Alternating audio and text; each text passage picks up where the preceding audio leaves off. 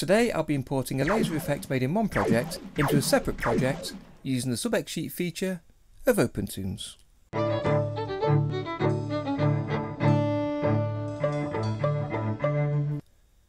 Hello ladies and gents and welcome to the final part of my series adding a laser blast effect to an animation. In the previous episodes I created the laser blast and then the animation of the characters in two different projects and here they are. That's the blast, and here's the two characters.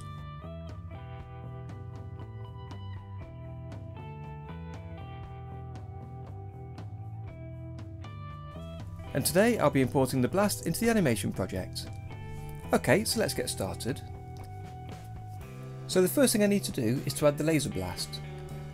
But first it's important to mention that the animation scene with the blast in it is in a different project to this. And this is important because of the way we're going to reference it. Let me show you. So to import the scene from a different project, you simply go to the File menu and choose Load as SubXsheet. You browse to the scene for the other project,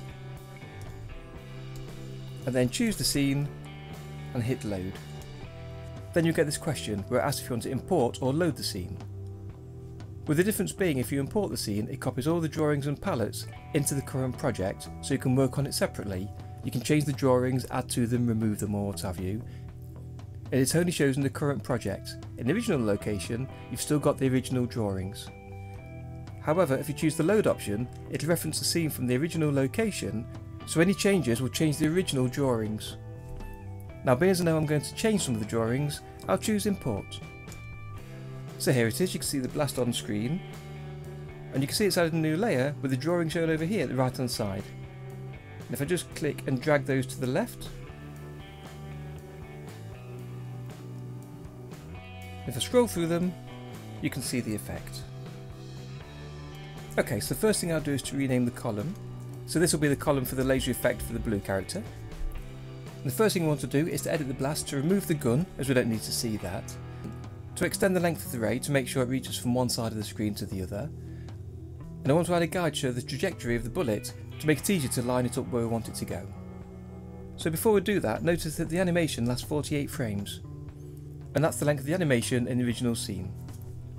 So to edit the SubXsheet, just make sure you're anywhere inside the purple frames, then hit the button here to go inside the scene. Here we go. So this should basically look exactly as it did in the original scene.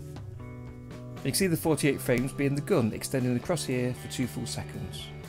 Now we don't want to see the gun, so we just untick this button here to take it off the screen, and then the button on the left to take it out of the output. Now I don't need the gun, but I will leave one frame on here. So I'll highlight and delete all but the first frame, just with click and drag and then press the delete key. So let's take a look at the effect. So we can see the laser moves off to the right of the screen, so we'll zoom out so we can see the full length of it.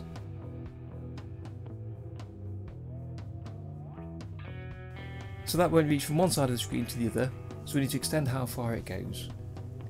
So to do that we'll use the animate tool We'll make sure we're on position and we'll lock the north and south values so that the bullet can only move left and right or east and west as it calls it. So we'll make sure we're inside the ray column of where the key currently is and we'll click and drag to the far right. And because the bullet moves further, it also moves quicker. So we'll extend how long it takes to get there by highlighting it and then dragging that further. We'll try 18 frames and see how quickly that looks.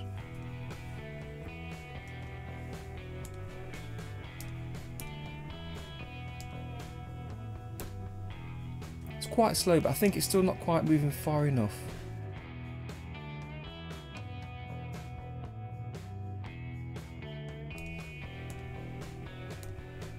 Okay, let's try that.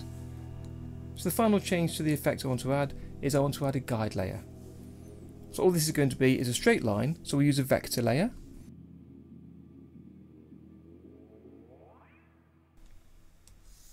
Put that there. So we'll just use the line tool, hold shift key to keep the line horizontal. I'm going to draw the rough length. I'll extend this out to the full 18 frames. And on frame 18, you can see exactly where the laser bullet is. So let's extend that slightly further. There we go. So you can see the bullet travelling there. I've put the line slightly lower than where the laser is. Let's just save that.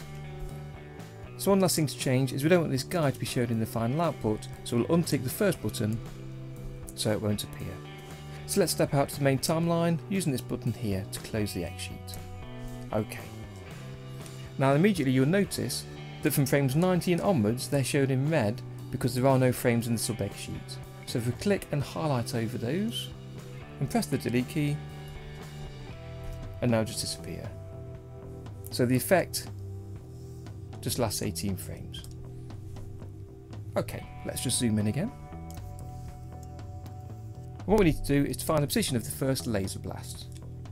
So I'll extend the play range by selecting on the bottom row here because I know the background lasts the whole length of the animation and then when I right click into the time area I can choose set auto markers and that sets the markers to last the full length of the animation. So if I just hit play and watch for when the first bullet arrives. There. Okay, let's just find that. There. 13, 14. So it's at 3 seconds and 14 frames. So all I'm going to do is to copy and paste those frames by using Control X to remove them from here. 3 seconds and 14 into here and paste. So all we need to do is set key on this first frame, which you'll do by pressing this button here. And that'll set all of the default values for the effect. That's the position, the rotation, the scale, etc. And then we just need to scale and position the effect in the right place. So, using the animate tool, let's get the scale set first. So you click and drag towards the centre of this marker until it's the right size. And then position, we'll put it approximately here. Let's check on the previous frame. You notice this pink line across the centre which is really helpful for getting this lined up. So because there's two bullet shots, we select the key and then using Control C to copy and Control V to paste on the last frame, it means that the scale and position of that effect won't change during that period. So let's look for the next bullet shot. There. So let's just come back again and find the exact frame where it happens. So he points his gun and then shoots there on 23. So that's 5 seconds and 23 frames. So we'll just copy these frames again. We can select them using that bar at the top, Control C, and Control V. Now the effect will continue from the previous location until we set a new key. You can either press the key button and make the changes, or can make the changes directly with the animate tool. So the position is roughly up here, the rotation points down here somewhere and this is where you get to see the benefit of having the guide.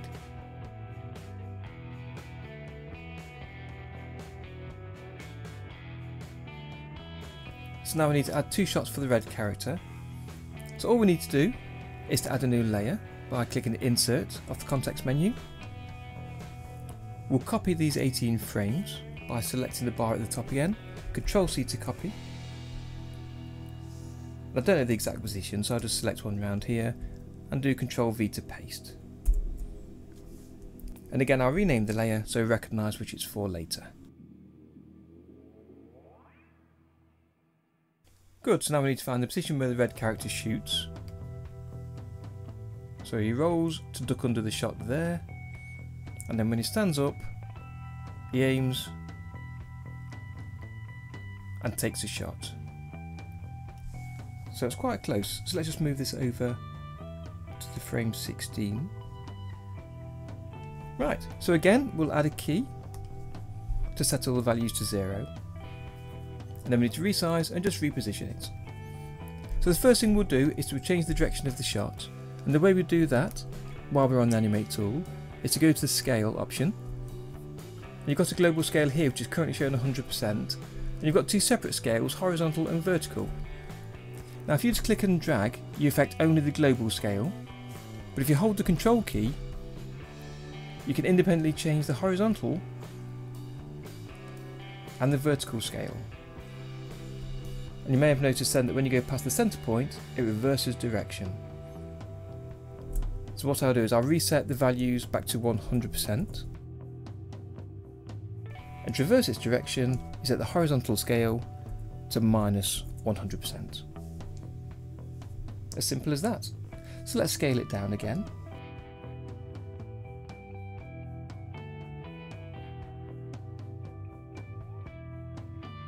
So let's adjust the rotation. There we go. So now it's used above his head. And again, we'll just copy the key from the first frame to the final one. So the red character shoots twice here, once, and the bullet goes above his head, and as the blue character jumps, he shoots again, and that'll go underneath him. So we need to add this animation twice, and you can see even though it'll overlap, there's no more effect left on screen, so I can just delete the last couple of frames. So let's move the key back to the left. In fact, before I delete them, let's select them all, copy them, and then paste them ready to use. Okay, so now I can delete 17 and 18.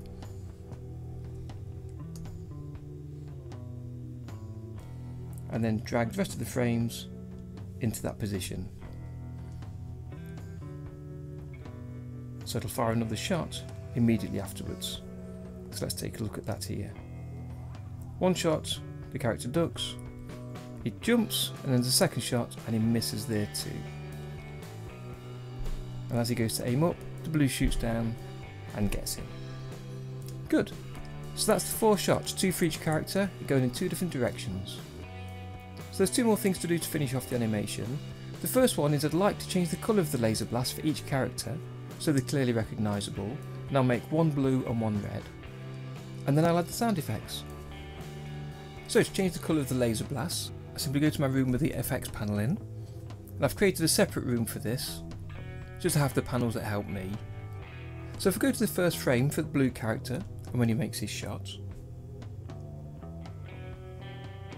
you'll see that's here.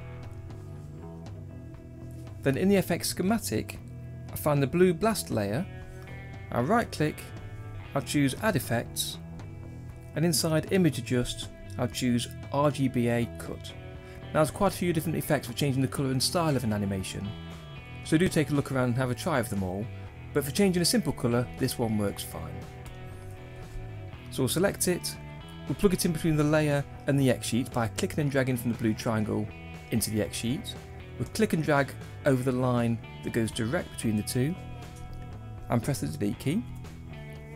So to see the effects of what we're changing, if we turn on the preview button, and then any changes will be seen immediately in that window. So let's double click on there.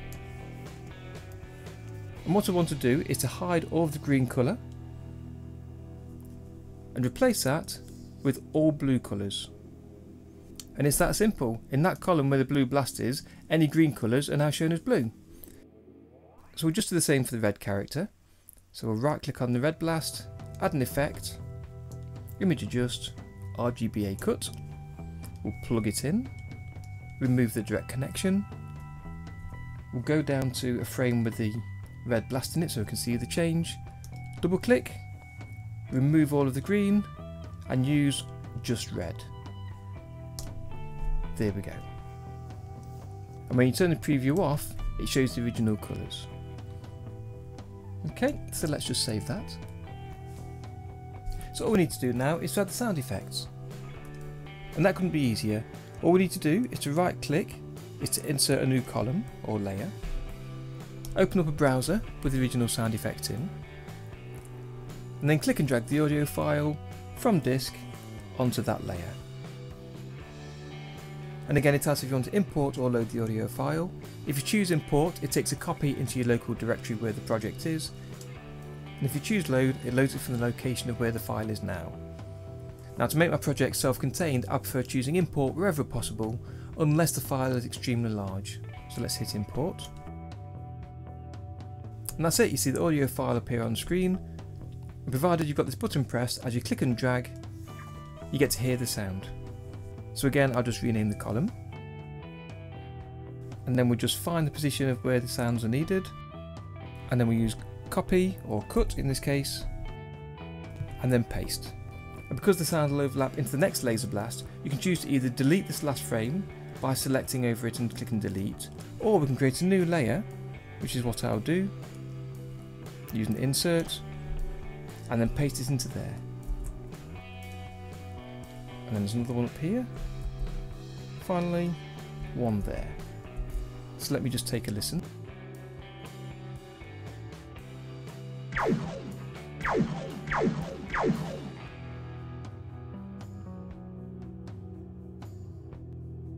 Okay, that works really well.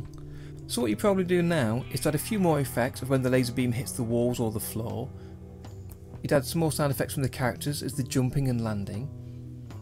And then any other special effects to finish off the animation. But I'm quite happy with how that turned out. It shows how you can use a scene built in one project in a separate project, which is really useful if you've got a complicated animation or effect that you don't want to redraw. So that's it for today. If you've got a request for how to do something in OpenToonz, leave me a question below, and if it's something I can help with, that could be a future animation on this channel. If you enjoyed the video, take a second to like and share to help the channel out. And why not take a look around my other tutorials and animations? And if you're new to the channel, I'd love to have you subscribe to be reminded of future tutorials and animations. And I'll be back next Friday with that video on shift and trace and trace and shift. And that's a guarantee.